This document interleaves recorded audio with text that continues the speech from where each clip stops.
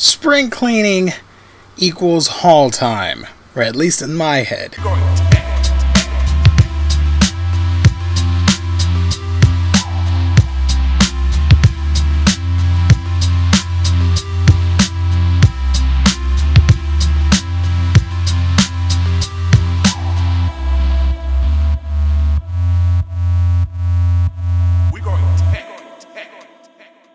Hey everybody, welcome to another exciting episode, another edition of A Week in Geekdom here on YouTube. It's another edition, yes, haul time, one of my favorite things to do on this channel, highlighting all the geeky stuff that I acquired in the month of March. Uh, the video was uploaded a little bit late, but that's okay. You guys don't mind, I'm pretty sure. And speaking of you guys, I got a bunch of new subscribers. Welcome to everybody that's uh, dropping in brand new into this channel. I tend to do book reviews, movies, and all that stuff, but due to unforeseen circumstances, I have had to limit things to just books, but I will be talking about movies and all that stuff in the near future. So yeah, uh, usually if you're new, what we do is we talk about uh, all the stuff I got uh, on the haul videos. It's it's not that complicated actually.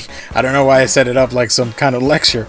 Uh, manga, trade paperbacks, hardcovers, uh, figures, DVDs, Blu-rays, whatever. It, it, it, this this channel, this whole idea is to celebrate the geekdom, of course.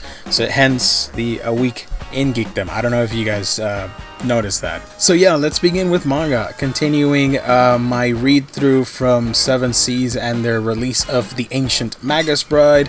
I have here uh, Volume 3 and Volume 4. This is a fantastic series. The first volume of Smoking Parade. Uh, I, this, this is all over the place. I'll do a video on it soon, don't worry about it. I also did get uh, Fire Force from, uh, what's the uh, mangaka's name? Oh, uh, Atsushi Okubo. I think he was the one that did, uh, yeah, Soul Eater. So if you like Soul Eater, how could you not like a manga about a firefighting force of uh, teens and adults, young adults, that combat spontaneous human combustion? I got nothing. Let's go to softcover trade paperbacks or whatever. I did a review on this. It is Falling for Lionheart. If you want to check it out, it's here on this channel. Gwenpool Volume 2, Head of MODOK. I don't know who I have to blame for this, but I blame somebody from the Omnibus Collector group on Facebook that I even own this. It is New Mutants, uh, the complete collection from Zeb Wells. One of the teams that I do enjoy from the X side of the Marvel Comics is the New Mutants, and I love Magik, so I cannot wait. I've already read some pages, and it is pretty damn awesome. Instead of upgrading to the big hardcover with the whole trilogy, I did get Divinity 2 and Divinity 3 from uh, Valiant. I gotta blame my friend uh, Gabe for insisting I read this. It is the first volume of Transmetropolitan. Next up, here's Postal Volume 2. I did a review not too long ago, and I cannot wait to continue the story. And talking about continuing the story, I have The Rise of Aqualad. I cannot wait to talk about this with you guys, because it's awesome. Also, Super Sons. I finally got Super Sons. I had to get this, uh, the Jack Kirby 100th Celebration Collection, which features a couple one-shots celebrating, of course, the DC creations uh, that the King made, including uh, Sandman, you've got uh, Newsboy Legion and the Boy Commandos, uh, you've got Mr. Miracle, Etrigan the Demon, Orion, Darkseid, and much, much more with a ton of creators on this pretty damn good. And I had to do it because I love me some Hanna-Barbera books. I love this new imprint, and I went ahead and picked up Scooby Apocalypse Volume 3. So this was a gift from my good friend Felipe. This is part of something else that I will highlight uh, in a little bit. It is Batman Gates of Gotham. I've always wanted to read Gates of Gotham. For some reason, I... Uh, Never got around to it, but uh, thank you.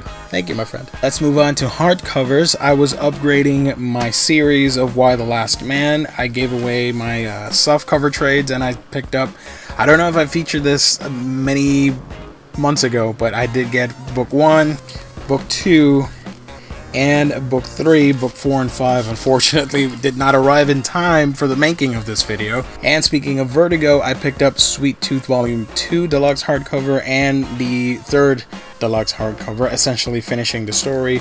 I've read the first one and it was pretty interesting, so I cannot wait to see how it all ends. And supposedly it's going to be an epic journey. So, yeah.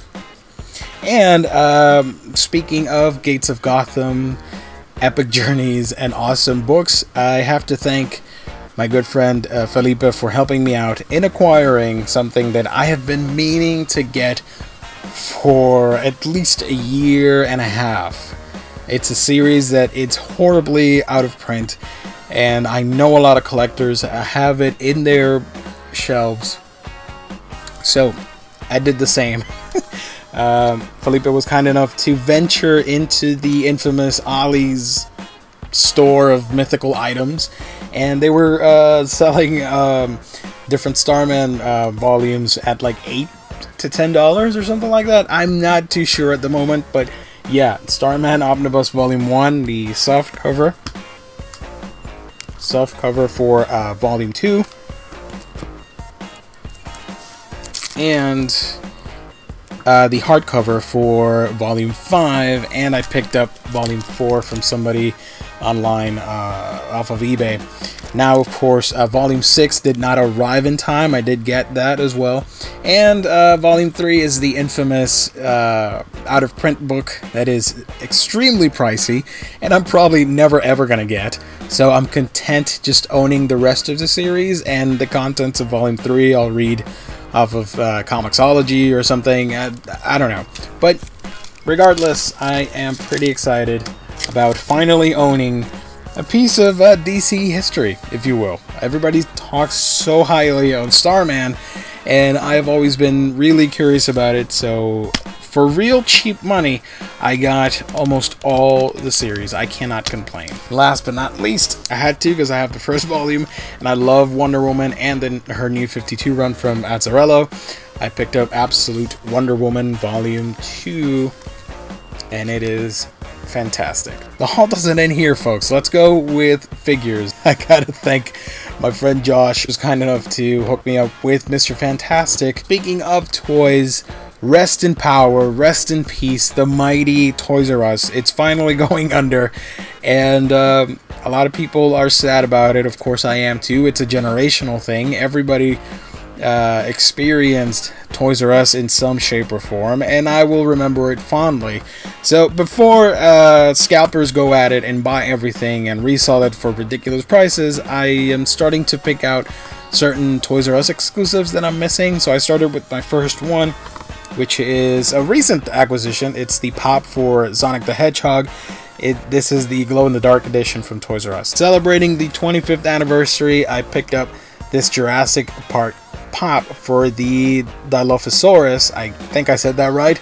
Uh, my favorite dinosaur in the whole franchise and overall, really, my favorite dino. And I had to do it. One of my favorite comic books, uh, modern comic books. I went ahead and started getting all the Saga pops because I love Saga, and they look phenomenal as Funko Pops. Here's Izabel from the uh, the Hot Topic exclusive, I should say. The common Lying Cat, Marco right there, and uh, the Will, the non-chase version, because look, I'm never gonna be able to find a chase in the wild.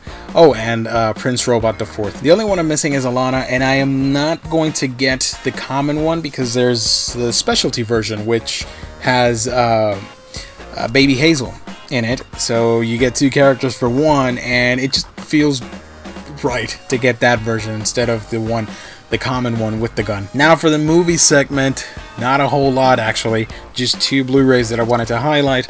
I did get Attack on Titan Season 2, and love me some Steelbooks. I did get the Jim Lee sketched uh, or drawn or whatever. Here's the back 4K Steelbook for Justice League.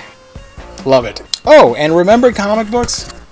I, I, I gotta give a massive shout out to uh, Mr. Omnidog himself, Jess Bragg, for hooking me up with this surprise package of the first issue of Mera, Queen of Atlantis, the new miniseries. Now, what's special about this is this is an ECCC variant foil edition, because Look at that. It's it's gorgeous. Plus, it's the you can find the regular variant uh, in stores done by Artgerm.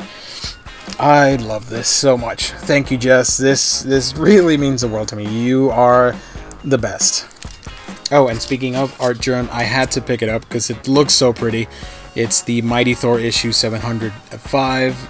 I do believe it's the end of the Foster run, but uh, I haven't read it. I'm just getting it strictly for the art. Uh, I'm making that disclosure right here, right now. So yeah, guys, that in a nutshell is am I missing anything? I don't I don't know. I've probably wasted more of your time already. So yeah, but regardless of all of that, you guys are awesome. Thank you once again for liking, commenting, subscribing and just being awesome and supporting this channel.